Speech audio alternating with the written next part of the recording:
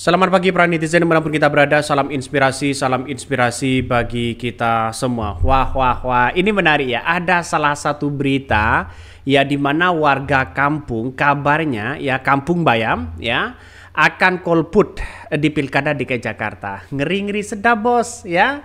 Ini ngeri-ngeri sedap begitu. Persoalannya adalah mungkin ya mungkin uh, tidak begitu serak terhadap pemimpin-pemimpin yang kemudian menjadi calon di Pilkada DKI Jakarta.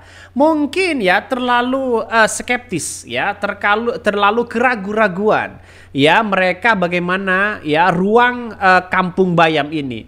Apakah mereka pro terhadap uh, Kampung Bayam atau tidak begitu? Yang sejak dulu digusur oleh pemerintah ini, oleh calon ini, calon itu dan sebagainya. Artinya apa? Tidak ada kepastian hukum yang kemudian diberikan kepada Kampung Bayam ini. Maka secara logika ya mungkin menginginkan Anies Baswedan.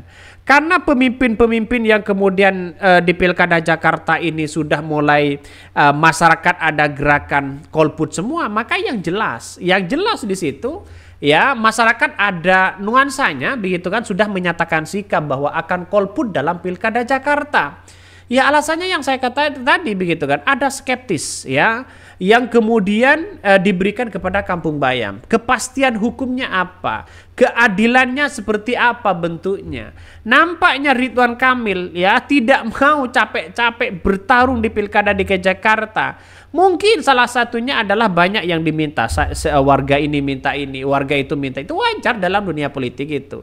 Makanya kalau ini uh, begitu kan ya, yang jelas masyarakat Wah, apakah apakah nanti yang golput yang menang atau tidak begitu? Tapi kita tunggu saja ya. Coba kita baca dari komentar-komentar dari netizen. Ini gerakan melawan elit partai coblos semua ya. Pilihan yang buruk bos, warga harus lebih realistis ya bahwa hari ini ada tiga pasangan. Iya begitu kan. Tapi semuanya kan tergantung dari pemilihnya. Ada kepuasan-kepuasan tersendiri memilih kolput, memilih si A, memilih si B dan sebagainya begitu kan. Artinya apa? Artinya tidak ada yang keliru begitu ya. Yang keliru di situ adalah ketika ada orang yang mengajak diberikan uang, dicoba uh, disuruh coblos semua, disuruh golput itu baru bermasalah dan itu kena pidana. Kalau mereka muncul dari hasrat pribadinya begitu, saya kira tidak begitu ya. Jadi artinya mungkin mengatakan begini, pemilih memilih pemimpin si A si B sama aja. Mungkin ya salah satunya. Jangan-jangan alternatif orang ya di Pilkada Jakarta jangan-jangan pangrekun begitu kan. yang kemudian jadi. Tapi satu sisi secara logika dan politik, secara hitung-hitungan kuantitatif mereka pangrekun tidak akan pernah menang ya. Mungkin Anies mungkin maaf Ridwan Kamil mungkin sudah di depan mata menang begitu. Eh, artinya apa? Artinya banyak masyarakat yang kemudian ada gerakan itu begitu kan, golput semua dan sebagainya. Ya, karena orang-orang itu masih menginginkan bahwa sosok Anies Baswedan ya, sosok Anies Baswedan dan ini sebagai bentuk perlawanan terhadap partai-partai besar yang kemudian mengusung tidak mendengarkan uh, konstitu konstituennya atau tidak mendengarkan masyarakatnya. Sehingga ini sebagai bentuk perlawanan. Bagus juga begitu kan ya. Artinya apa? Artinya ada bentuk perlawanan-perlawanan yang kemudian ya uh, mereka akan menjadi efek jerah. Makanya undang-undang uh, tadi begitu kan ya, yang kemudian akan digugat kepada Mahkamah Konstitusi setiap calon, setiap daerah yang bertarung dan menjalankan kontestasi pilkada ini, maka harus disertakan kotak kosong. Dan ini kalau disahkan, maka kemudian yang terjadi adalah saya kira akan kotak kosong yang menang. Itu sebagai bentuk perlawanan dari masyarakat. Ya buat apa mencoblos uh, apa namanya orang ya yang yang kemudian tidak suka mungkin orang akan berbicara seperti itu begitu. Tapi uh, uh, negara demokrasi yang baik di situ adalah memimpin memilih satu pemimpin. Itu bagus ya. Coba kita baca ini beritanya. Warga Kampung Bayam akan golput dalam Pilkada Jakarta 2024. Ngeri-ngeri sedap ternyata ya.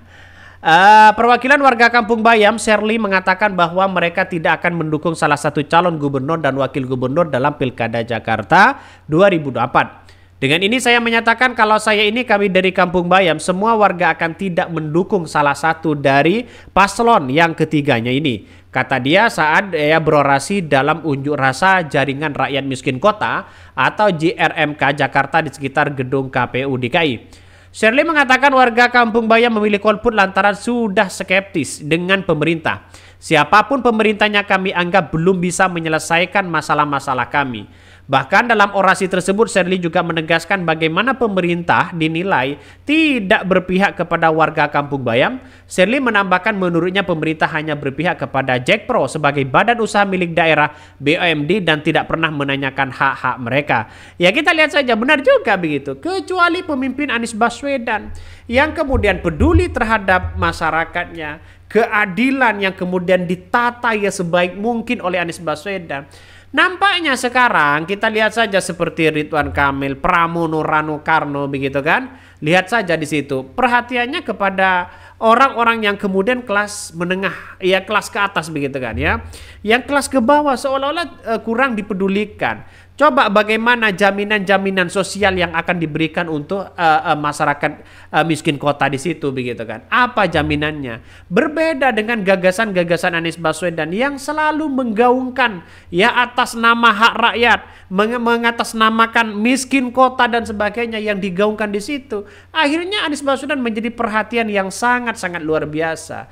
Jadi artinya apa? Artinya uh, saya kira bahwa uh, uh, sekarang ini begitu bagi calon-calon itu seharusnya yang lebih dekat itu adalah rakyat-rakyat kecil dulu begitu kan ya. Perhatian dan sebagainya. Coba kita lanjutkan ya. Uh, menanyakan hak ya kami tidak pernah. Yang ditanyakan adalah hak-hak dari Jack Pro. Soal konflik Kampung Bayam, Shirley mengatakan bahwa mereka seolah diintimidasi karena tidak mau mengikuti kehendak pemerintah. Kalau memang tidak mau ngikutin apa yang menjadi kehendak pemerintah saat ini, kita seolah-olah diintimidasi. Selamat ya bertemu di pengadilan, kata Shirley. Bahkan ya hari ini berte, bertepatan dengan agenda pengundian nomor urut paslon, JRMK menggelar aksi unjuk rasa dan menyatakan sikap untuk golput dengan pencoblos tiga paslon sekaligus pada ya kotak kosong, pada kotak kosong saat pemungutan suara nanti. Dalam konteks unjuk rasa tersebut, koordinator RRGRMK Minawati mengatakan bahwa gerakan golput yang dipilih adalah sebagai bentuk untuk menyadarkan masyarakat bahwa kondisi politik dan demokrasi di Indonesia sedang tidak baik-baik saja. Inilah ada simbol perlawanan kami terhadap pilkada yang hanya memberikan pilihan semu dan tidak berpihak pada rakyat. Warga Kampung Bayam yang dijanjikan akan bisa menempati rumah susun di dekat Jakarta International Stadium hingga kini nasibnya masih belum jelas. Padahal mereka dijanjikan bisa menempati rumah susun tersebut. Sebelumnya Direktur Utama PT Ya Jakarta Propertindo Ya Perseroda Iwan Takmin mengatakan 19 keluarga telah menempati kampung Susun Bayam secara paksa pada akhir November 2023. Akhirnya dipaksa pindah ke hutan, ya ke hunian maaf ya pindah ke hunian sementara di Jalan uh, Tongkol ya, pengudangan ke Arupu 11 Ancol. Mereka dipindahkan ke hunian ya sementara setelah setelah ketua kelompok petani Kampung Bayam bernama Muhammad Furkon ditangkap pada 2 April 2024 oleh kepolisian Resor Jakarta Utara. Ini yang kemudian uh, sulit sebenarnya ya siapa pun pemerintahnya kecuali Anies Baswedan yang kemudian bisa merangkul ini semua begitu kan ditempatkan yang layak dan sebagainya. Seharusnya kan rumah susun itu kan dibuat karena untuk warga kampung Bayam di situ begitu kan. Yang kemudian hari begitu kan digusur ya karena mungkin ya uh, di di kota-kota itu begitu seharusnya yang layak lah tempat yang baik tapi pada kenyataannya sekarang kita lihat saja begitu ya. Yang menjadi perhatian situ bukan bukan uh, warga Bayamnya justru Jack Pro-nya begitu. Sehingga uh, saya kira saya kira ini yang akan menjadi tantangan kepada uh, pemimpin-pemimpin di situ mana yang harus kita pilih dan sebagainya. nampaknya nampaknya uh, kita lihat begitu seperti Ridwan Kamil namanya tidak berani untuk memberikan janji-janji itu ya. Mungkin itu yang kami sampaikan ya tonton terus channel Hodari Podcast Rakyat ini jangan lupa di subscribe.